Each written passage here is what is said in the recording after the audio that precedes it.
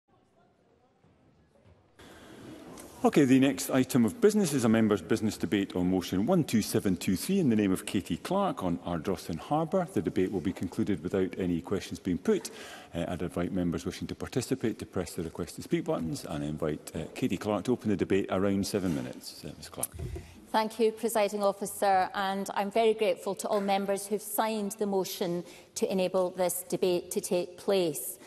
Adrossan has been the main ferry port to Arran for 190 years because the Adrossan to Brodick route is the shortest, quickest and most convenient way to get to and from Arran for most people.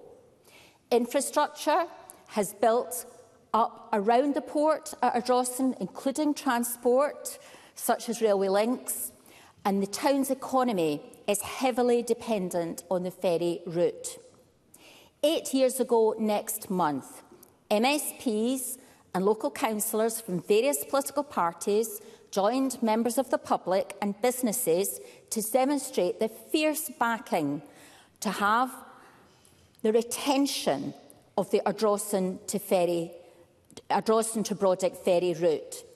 The A to B campaign was launched in response to the then Transport Minister Hamza Youssef announcement that there would be a wide-ranging feasibility study to examine the future of the Arran route, following a bid to move the service from Ardrossan to Troon. The study looked at the options under four broad pillars – connectivity, reliability, overall operational cost and socio-economic considerations – And having looked at all of the evidence, the decision was taken to retain Ardrossan as the mainland port for the Arran ferry service, as this was clearly the best option. Fast forward to now, eight years from the launch of the Keep It A to B campaign, and again, local residents, businesses and groups in Arran and Ardrossan still not have any certainty that their lifeline ferry service will continue from Adrossan Harbour due to the disastrous failure to commence work at Adrossan. The two new ferries, the Sanix and the Rosa, should have come into service in 2018 and 2019, but despite both ferries being delayed for over five years, the harbour work has not started and there has been no tender process to ascertain costs. the Scottish Government decided to commission the Sanex and Rosa with a design that required the reconfiguration and upgrading of a Drossen to enable the vessels to berth. They knew they didn't have the infrastructure in place with ports and indeed fuel. This commissioning decision meant that decisions had to be made about the future of the port. The port is owned by Peel, and it was obvious to those experienced with that owner that there may be problems with coming to a decision that Peel would agree with. So despite the ferries being more than five years late, no work has started at Adrossan. The delay of these two ferries has already cost the local economy millions of pounds on the island of Arran, which of course is heavily dependent on tourism. In Adrossan, which has some of the most beautiful beaches and views along our coast, we also suffer from some of the worst deprivation in North Ayrshire, and moving the ferry service would surely tear the heart out of the town. The SANEX started birthing trials at Brodick this week, and hopefully that service will start later this year. But that will not be going to Adrossan. It's been rerouted to Troon. And there's real concern that the ferry service will never come back to Ardrossan. Presiding officer, last night, more than 340 people, residents, businesses and other supporters met in the Ardrossan Civic Centre at the inaugural meeting to launch the Save Ardrossan Harbour campaign. Many more were unable to get into the room. It feels like Groundhog Day. Eight years on, from the Keep It A to B campaign. Eight years on, from the argument being won on a Drawson.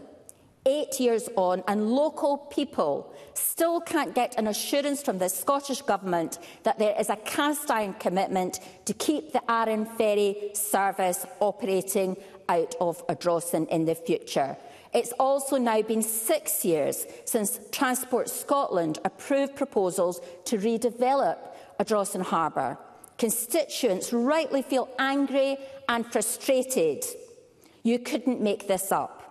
We've had enough time wasting. We've had enough excuses.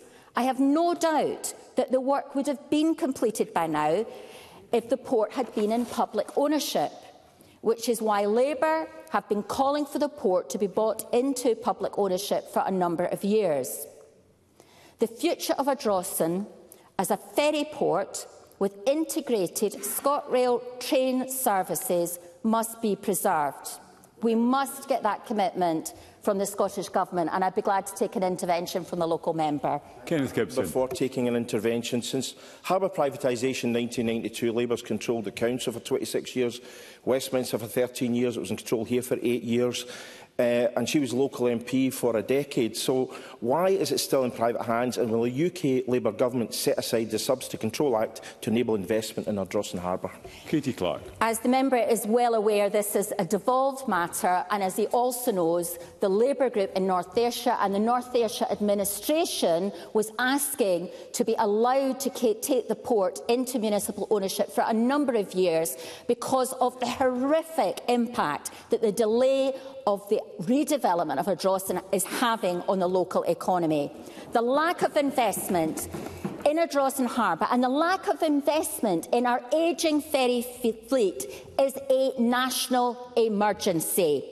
It's been a national embarrassment for this Scottish Government and it's been a disaster for businesses and residents in Ardrossan and on Arran. Presiding officer, my constituents Ina Drawson and Aaron deserve an apology. They deserve the Scottish Government to commit to providing an adequate support package to cover the cost of these delays. They deserve a reliable ferry service on the fastest route that they can count on. But most of all today, they deserve a cast iron commitment that the Scottish Government, are committed to a draw being the preferred route for the Arran service and a guarantee that the much needed works to the harbour will be underway as soon as possible. I sincerely hope that the Minister can give my constituents that commitment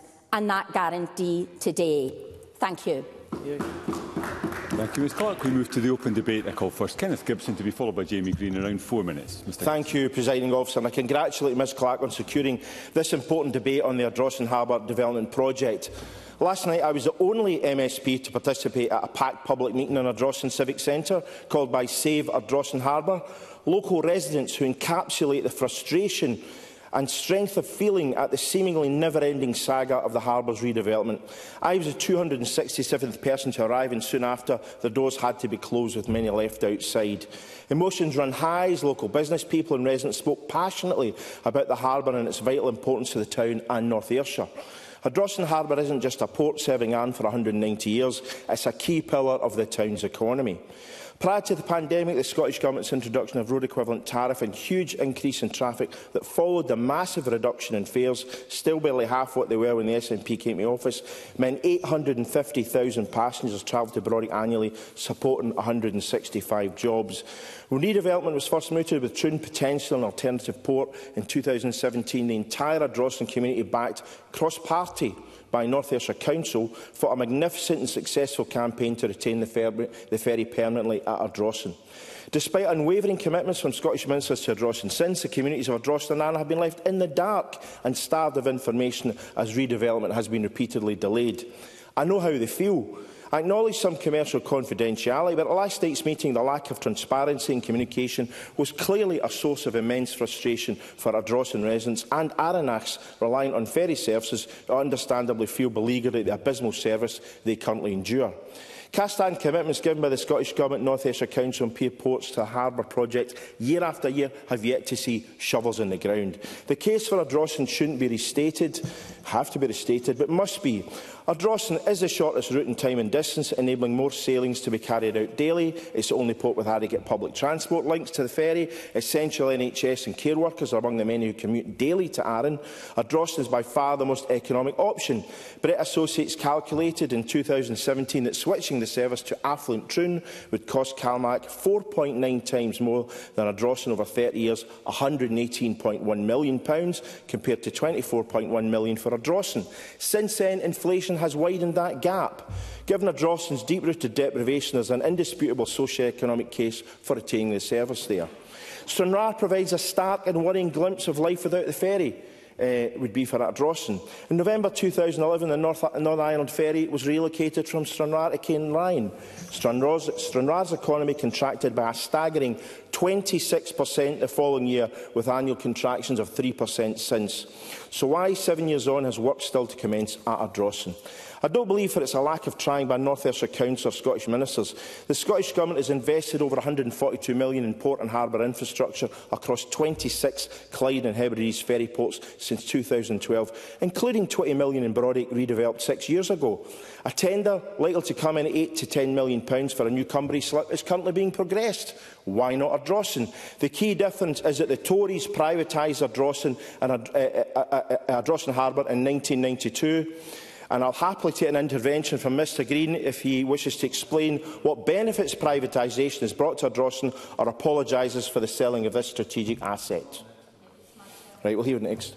Uh, if, uh, if Ms Clark wants to make a, a, a, an intervention, I'm happy to take it. Katie Clark wasn't it myself that was asking for an intervention, um, to ask um, the member whether he agrees that The port should have been brought into municipal ownership because, as he says, there's been considerable investment um, in ports and the appeals seem to be the problem at Ardross and that seems to be accepted, um, I think, probably by everybody in the chamber and that really we need that port in public ownership. It would have been better if that had happened some time ago to enable progress to be made. As I mentioned, the Labour Party had plenty of opportunities to bring it into public ownership. Of course, the local authority under Labour control also promised to take any ownership local banks, uh, bus services uh, and energy and did none of these things. The reality is, if you speak to Spice, they will tell you that, that it's actually dubious whether or not this can actually be achieved under devolution. But her UK government, if it so wishes, could ensure this went back into public ownership.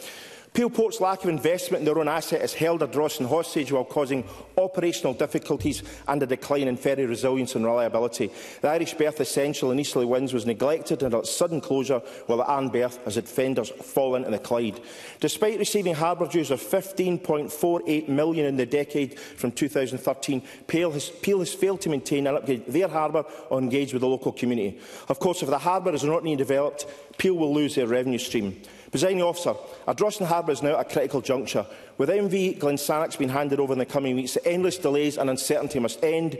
We know the UK Government has cut available capital by 20%. The Subsidy Control Act limits the room for manoeuvre and that renationalisation is extremely difficult under devolution. Nevertheless, it's time to bring this long-delayed business case to light and lay out a clear and transparent plan with timescales for action. The people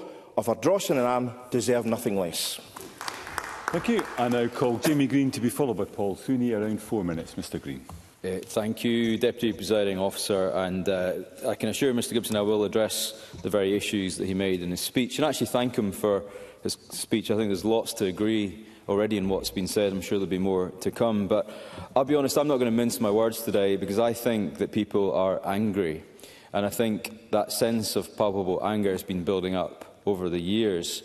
Uh, I'm not just angry, it's constituents of the West, entire West Coast of Scotland who've been let down. Uh, they're Katie Clark's constituents, they're my constituents, they're Kenneth Gibson's constituents.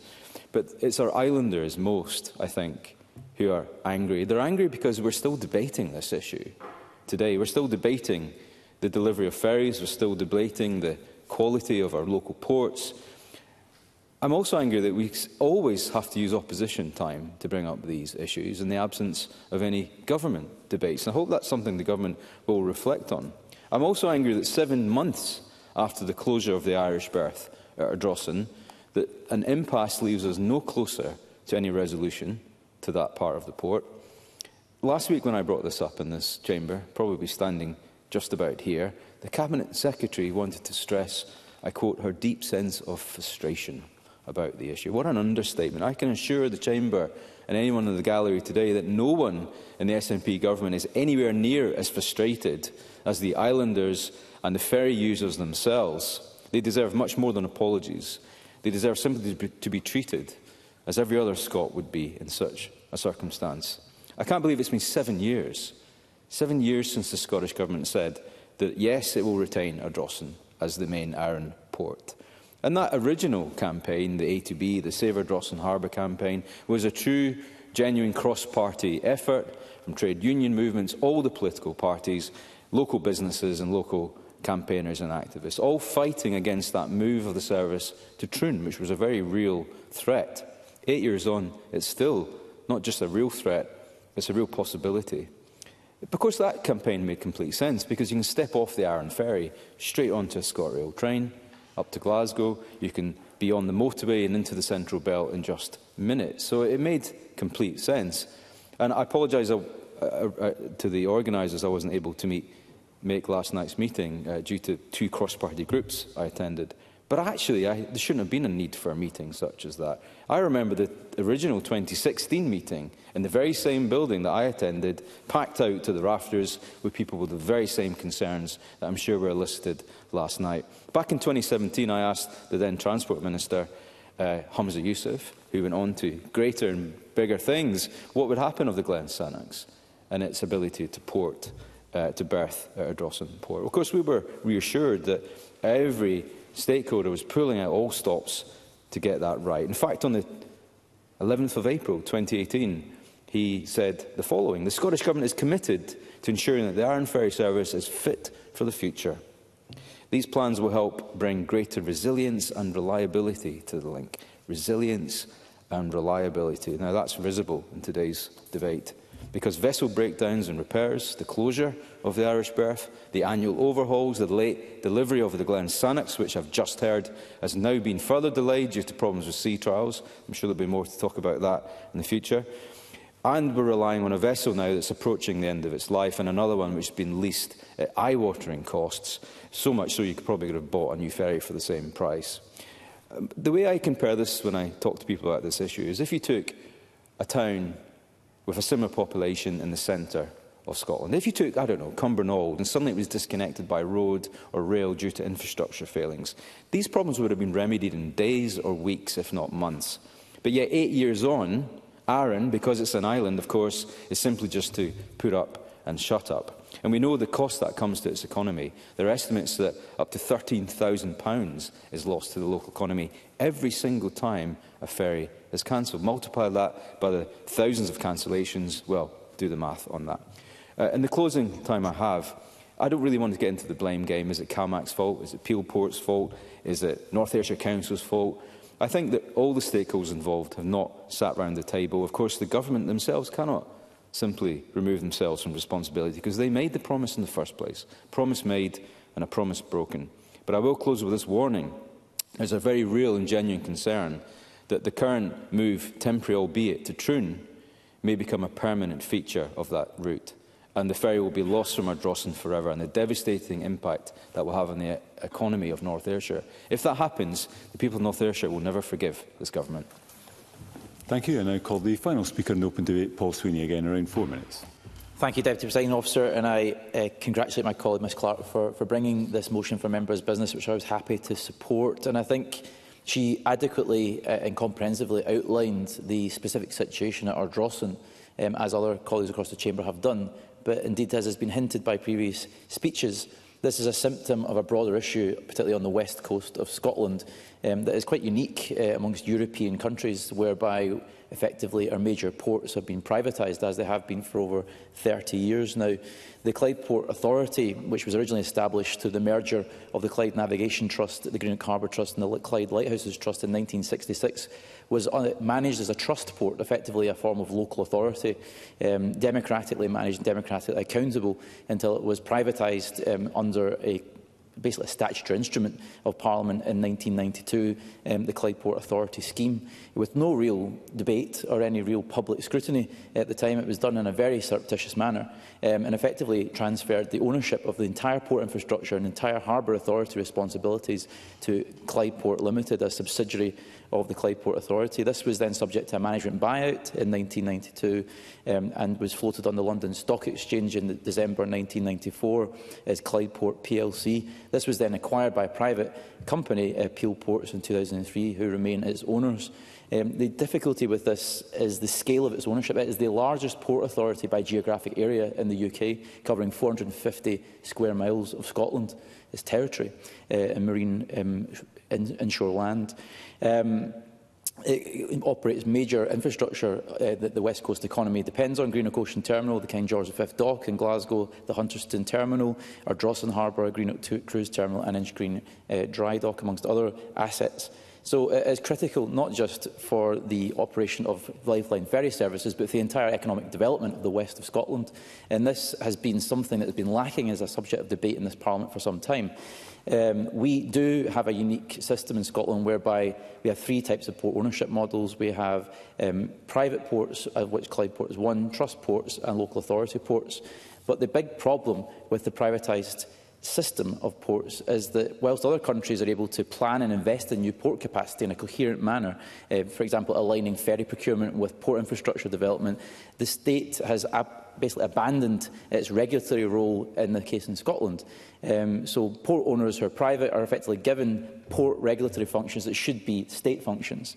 Uh, and in the UK, privatised ports have effectively been allowed to regulate themselves, inevitably in their own interest. And this is the case in the Clyde the Fourth and the Tate. Yes, have to give way. Jamie Green. I actually agree. I think we should have a proper and fulsome debate with more time to look at the issue of port infrastructure in Scotland. And I think there's probably quite a lot to agree on, actually, in answer to some of the other points made. But my concern about all of this is that, in, given the current state of public finances, that even if all our ports were nationally owned and operated and not held in any private ownership at all, the lack of funds to invest in that port, port infrastructure would leave us exactly the same place, if not a worse place, than we are at the moment. So I don't see that, that being the magic solution to the problem. Paul Sweeney can give you the time back. Thank the, thank the member for making that point. And he, he is making an interesting point. It's important to recognise that we shouldn't make the perfect the enemy of the good. We are where we are, and it's about charting a coherent way forward. I would say we can achieve a better equilibrium in Scotland through improved regulation. There are two main pieces of legislation that are extant at the moment. The Harbours Act of 1964, which can give uh, Scottish ministers power to reconstitute harbour authorities by a harbour revision order uh, or indeed a harbour closure order in extreme circumstances. And there's also the Marine Navigation Navigation Act of 2013, which allows the Scottish Ministers to remove a harbour authority's pilotage duties. Um, so there are legislative tools available for dis further discussion. But what I would urge the Minister to consider is maybe perhaps an analogy with the bus regulation approach that we've been taking in recent years, where we had the privatisation of buses in the 1980s, and we've now been looking through the 2019 Act at improving regulations. It's not necessarily about nationalising bus companies and so on, but it's about having an equilibrium, perhaps with franchising or some sort of oversight. And certainly with the new Clyde Mission and the Glasgow City region, um, there is a mechanism there to perhaps establish a better oversight and governance of the Clyde Port Authority. Um, and I'm sure that Peel would be happy to cooperate with that in the view that it could help co cohere investment and actually attract um, perhaps pension funds or others, to invest in development of the Clyde's infrastructure. We've seen a rush of investment to the East Coast ports with the Scotland programmes, but we've seen a dearth of investment on the West Coast. We've seen some recent improvements at the Greenock Ocean Terminal, and perhaps hints at investment at Hunterston and Inch Green, but Ardrossan is a desert of investment, and that has been a disaster for the local community and the wider Clyde economy. So we'd urge the Minister to consider a, a deeper dive into this and a deeper look at this opportunity for improving regulation of the West Coast ports, because it's not just about improving services to local communities, it's about growing the entire national economy. And with 450 square miles under effective private fiefdom, we need to look at improving that, uh, that jurisdiction. Thank you. Thank you, Mr Sweeney. I now invite Jim Fairley to respond to the debate. Minister, around seven minutes, please. Uh, thank you very much, President Officer. And I'd very much like to congratulate Katie Clark on securing this debate and it raises a really important issue about the, the Ardrossan Harbour redevelopment project and its progress. Um, now, I have to say the Cabinet Secretary would very much like to have been here today to talk about this important issue, but unfortunately she is in London meeting with UK ministers, which we should accept as a good thing. Um, before I respond to the motion raised, I'd like to take the opportunity to acknowledge, as others have, the, the service to Arran that has been subject to significant disruption with the outage of the MV Caledonia and Isles this year. And Jamie Green talked about the, the, the government doesn't know the frustration of the locals. I can assure the member I, I have spoken to the locals on Arran. I absolutely get it. I've run a business, and when something is out with your control, which is causing you major issues, I absolutely get the point that he is making.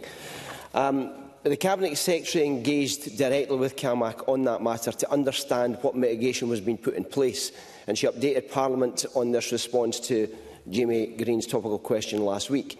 The replacement parts have been ordered.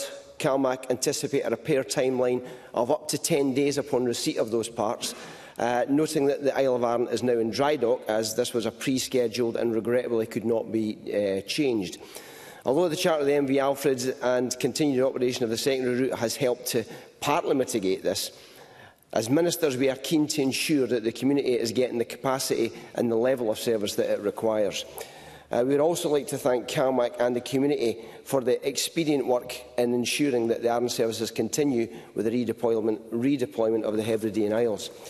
Now, this change does mean that capacity in the Isla route is affected, and that service will be supported by both the MV Finlagan and the Lord of the Isles. Unfortunately, that's impacted on the Loch Boisley service, but CalMac have acted quickly to ensure that additional services from today using the MV Isle of Mull operate in a, combine, a combined service to Loch Boisdale. So I also want to thank these communities for their Give me two seconds. I also want to thank these communities for their input as CalMac utilises this route, priori route prioritis prioritisation matrix to consider the options available. And despite people's obvious frustrations, I hope that members recognise the efforts to support Arden services while the MV Cali Isles is receiving its repairs, and I hope that it returns to service very soon. I'll take the intervention. T. Clark. I'm grateful for the Minister, and I hope that he is going to come um, onto the issue that we're debating today, which is a Drossen Harbour, because we're in a position where a Drossen Harbour is going to lose its ferry service completely. And I hope that the Minister is going to have time to respond fully on the issues raised there. Minister. Clearly, Katie Clark did not see my papers, which is exactly what I was coming about to come on to. So, I acknowledge the call for a commitment to our Drossen in today's motion. Uh, as ministers, we have already given prior commitment to retain the in uh, Harbour following the initial 2017 exercise. But as the Cabinet Secretary for Transport has previously highlighted, this must be underpinned by a robust business case, budget availability and commitment from the other funding partners. I think it's helpful to outline some of the key changes to the project across the timeline involved. The work commenced with the creation of the Ministerial Task Force to oversee the works in 2016, and this remains ongoing. And we fully accept that this has taken longer than we had hoped. Yes, I will. Thank you very much, uh, Minister, for taking an intervention.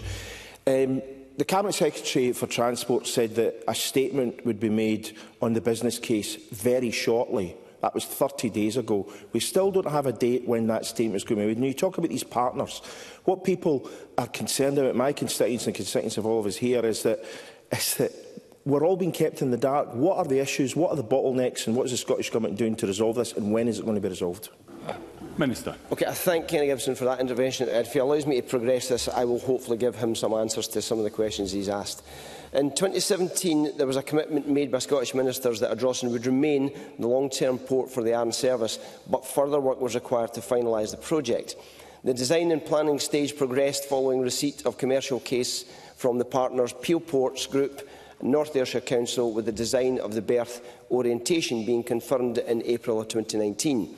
Now, the berth realignment was a substantial change to the original design, and although agreed by all partners, it did also mean that there was significant additional funding was required from the Scottish Government to, to facilitate that development.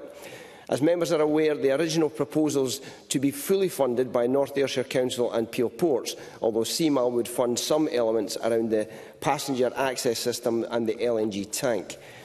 Now, the project also requires legal agreement to underpin the investment by partners, and to ensure that the arrangements for the future use of the port and robust excuse me, that the future use of the port are, that the future use of the port is robust and reflects the operations at other ports across the network. Now, the funding contribution for the Scottish Government also needs to align with the requirements and the intervention rate restrictions required by the U UK Subsidy Control Act. Discussions on these elements are progressing, but further work is required to finalise them. the Ministers expect all partners to continue with these discussions in parallel with the completion of the business case. The project partners worked collaboratively to progress the project to the tender procurement stage. However, in August 2023, Scottish Minister made the difficult decision to postpone the procurement and to undertake a business case and exercise review. This was not the decision that was taken lightly. Let me make some progress. It was not a decision that was taken lightly, as the process of finalising the tender design and documents had highlighted inherent financial and project risks that remain a challenge for the main funding partners. On top of these concerns was the global escalation of construction costs, which compounded matters resulting in the Scottish Government's contribution doubling since the initial estimate. Now, there is still uncertainty with regards to construction risks and cost that need to be addressed.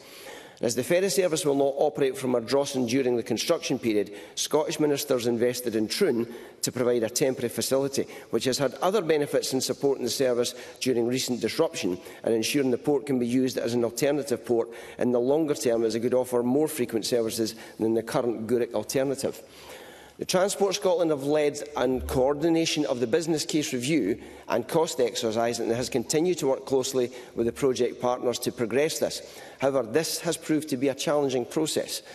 Given the scale and importance of the investment, it is essential that we get the business case right.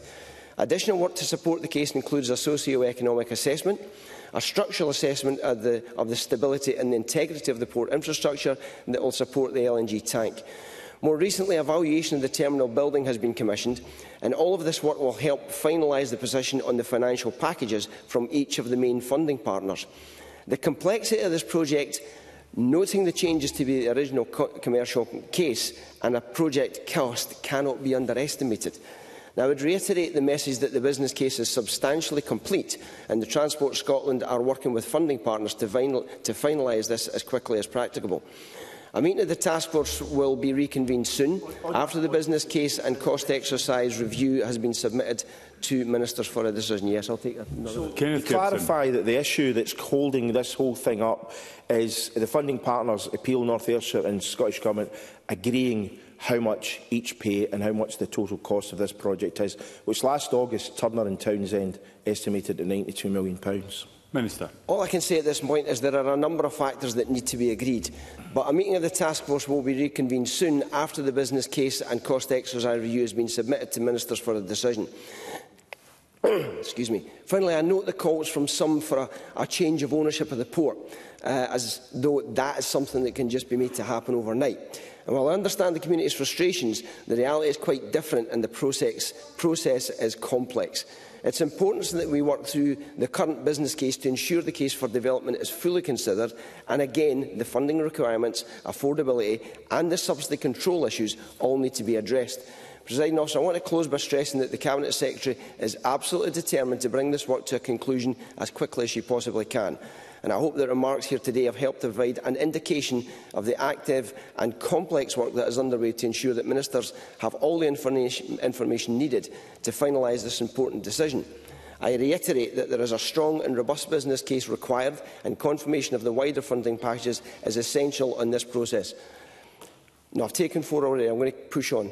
We fully understand the importance of this matter to ensuring the most resilient ferry service to and from Arden, and I want to give my absolute assurance to the people and businesses in and around Ardrossan and also in Arran of this government's absolute commitment to finding a solution that works and progressing that as soon as we possibly can. We will update Parliament and the communities as soon as this is the case. Thank you. Thank you, Minister. That concludes the debate and I suspend this meeting of Parliament until 2.30.